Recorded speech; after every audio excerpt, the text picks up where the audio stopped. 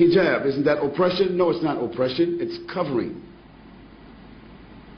The women covering their heads or covering their bodies is not an oppression. Their husband didn't tell them to do that.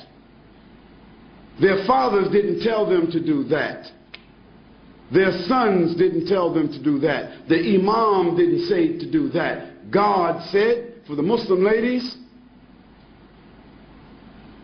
draw your clothing across your bosoms and do not allow your natural ornaments to be shown except to those within your family circle. What are the natural ornaments of women? In case you don't know what they are.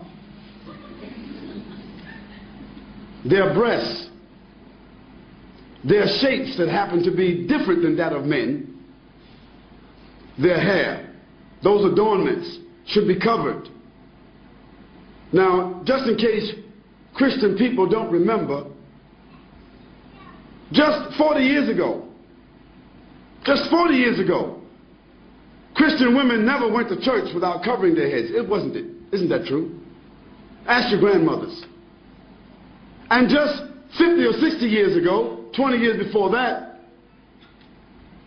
a Christian woman would never come outside with a short skirt, even.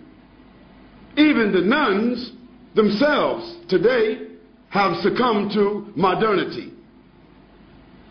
Because the nuns who committed themselves to the church and a religious life, how did they dress? They're not Muslims. They covered themselves. They covered themselves with an outer garment. And nothing on them was seen except the face and the hands. So if that was accepted by Christianity, it was accepted by religion. That wasn't something just that Muslim women were told, but Jewish women, Christian women, and Muslim women were ordered to do that in their scriptures. Now the fact that the modern civilizations ch chose to tell women they don't have to wear that and they can wear bikinis doesn't mean that God is wrong and they are right. Now for the Muslim lady, the wearing of the hijab is a protection for her. It's a distinction for her. Yes, it is a uniform so that she will be known to be a Muslim. She would not be molested. She would not be insulted. And no need for a man to stare at her and look at her because there is nothing appearing of her that would cause any unnatural attraction. Therefore, it is more than likely she can come and go with decency and dignity and that her natural ornaments will not create an inordinate liability for her like so happens when you see women wearing jeans and clothing that seem as if they painted it on themselves.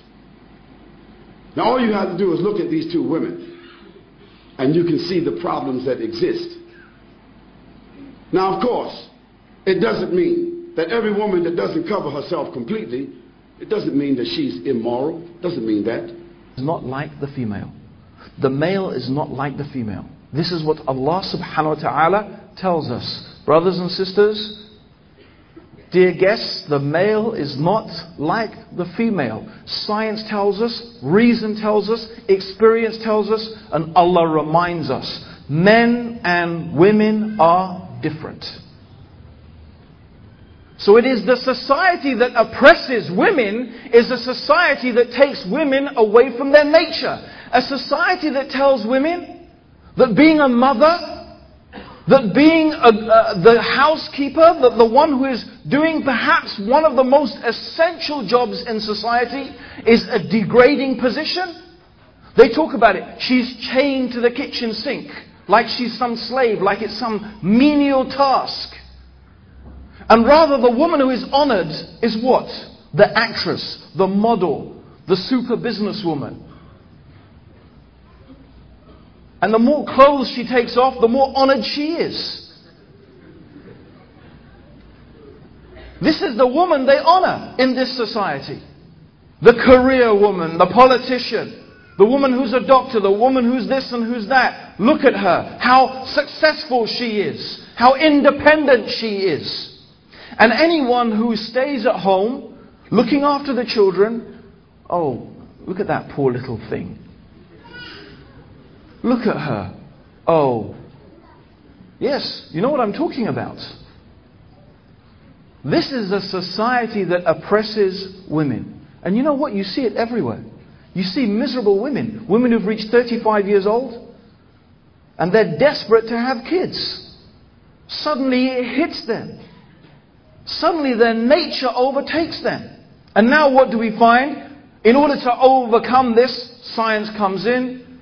They've introduced this intro, intro viral, I can't remember what it's, uh, intro viral fertilization, and women are being fertilized when they don't even, they're not even capable of producing eggs anymore.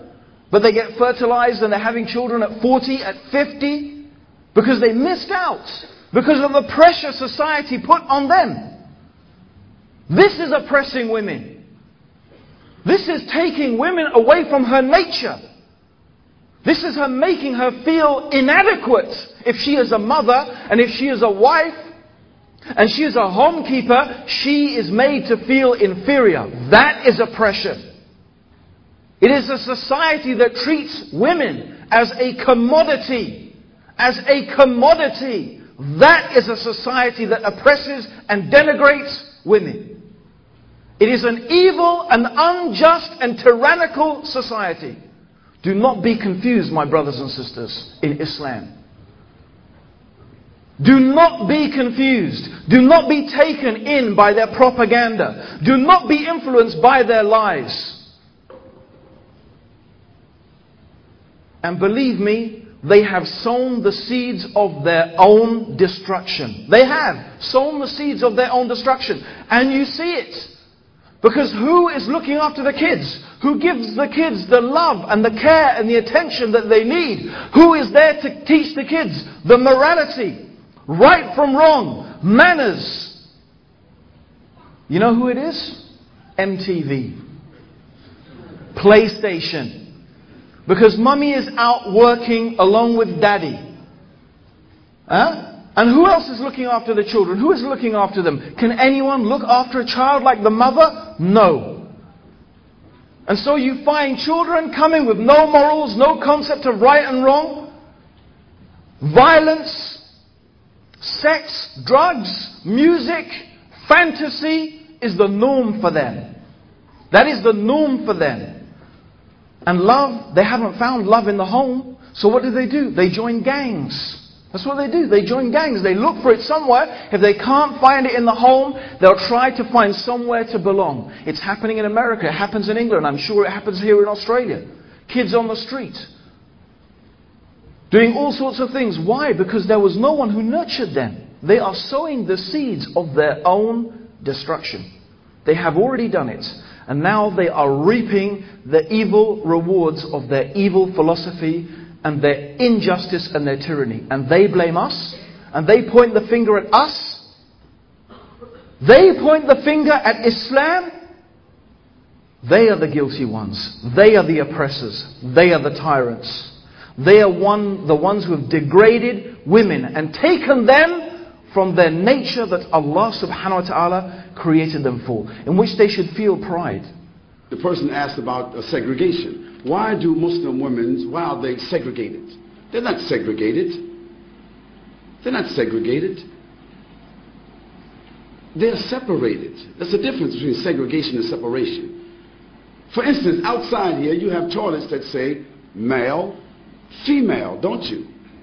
Don't you? Why? Why shouldn't there just be a toilet? Because there are sensitivities that we as moral, decent, dignified, educated people accept that there are sensitivities and privacy that the female would like to have as opposed to just walking into an open toilet. Now, maybe in Amsterdam or some other places in Europe where they just have open toilets, it's different. But in most cases in the world, in most places in the world, they select to have a male and a female toilet. Why? Because there's the inherent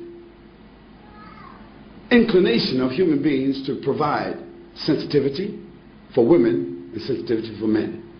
Now, in Islam, for us, it's not a matter of being inherent. It is something which is God given inspiration to do what? To separate the sexes. That means the genders. Doesn't mean absolute separation, like we can't see each other, we can't talk to each other, but generally, my wife just doesn't, I don't go to another man's house and I just sit down with his wife and dance with his wife, and he sit down and dance with my wife, and uh, this is just this matter of friendship. Bob, just drop over anytime you like. Okay? We don't do that. No, I come to visit Bob or Abdullah. Abdullah's wife comes to visit my wife. I don't socialize with his wife, and he doesn't socialize with my wife. Although there may be occasions where we eat together, our families socialize together, so we are obeying Almighty God. That's what we're doing. And sometimes we just have to believe what God orders us to do and benefit from the medicine. Sometimes when we don't follow what God tells us to do, then we see later on the reasons why.